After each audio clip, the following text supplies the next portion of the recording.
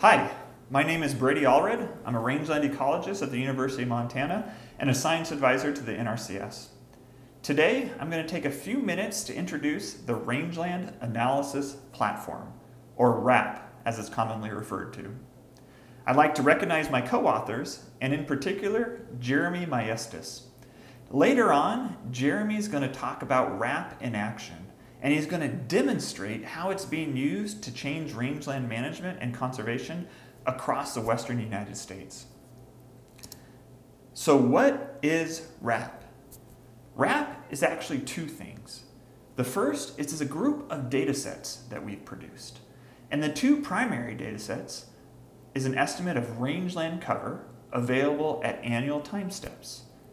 The second is an estimate of rangeland production, that is herbaceous forage me measured in pounds per acre. It's also available at an annual time steps, but in addition to that, it's available at 16-day time steps within any given year. Both these data sets are the foundation of RAP, and they're available for the entire western United States and from the mid-1980s to the present day. Now the second thing that RAP is, is it's a web application. These data sets are very large and can be hard to work with. We recognize that, and we wanted people to be able to interact with it in a very easy to use way.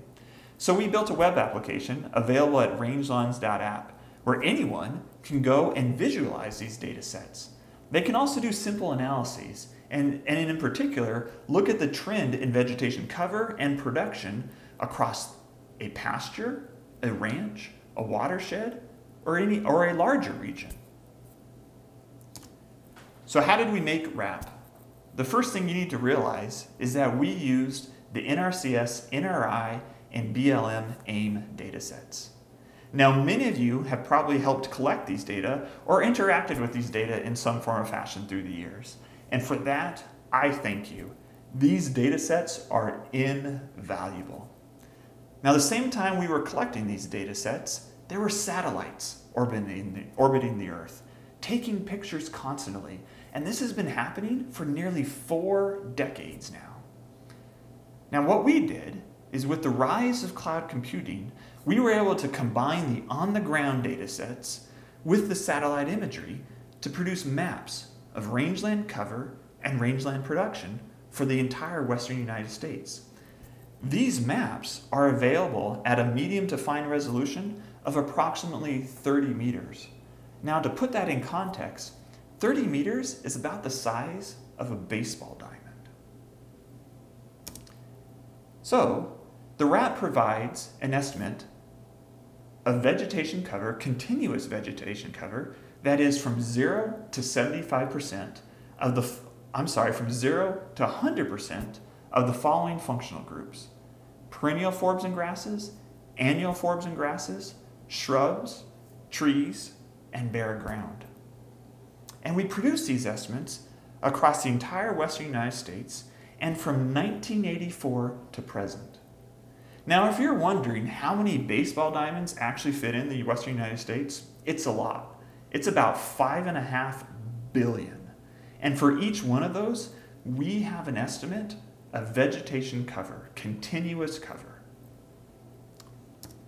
Now, we use this estimate of vegetation cover to help us produce an estimate of rangeland production or herbaceous biomass.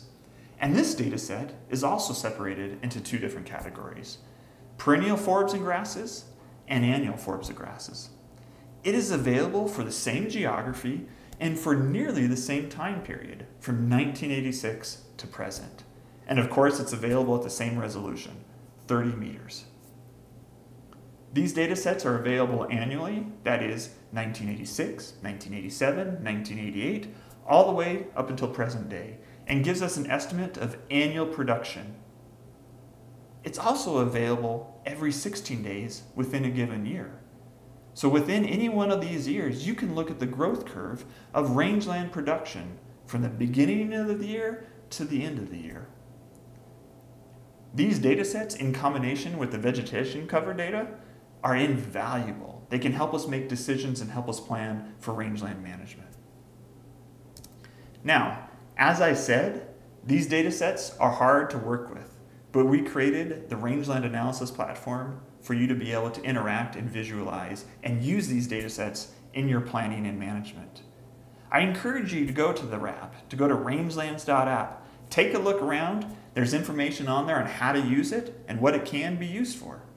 If you have any questions or any trouble, please don't hesitate to reach out to me. Thank you very much.